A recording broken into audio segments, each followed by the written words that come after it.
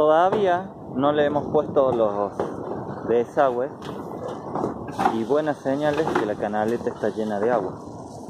Así que ahora la vaciamos, y le ponemos los desagües. No pierde una sola gota para abajo.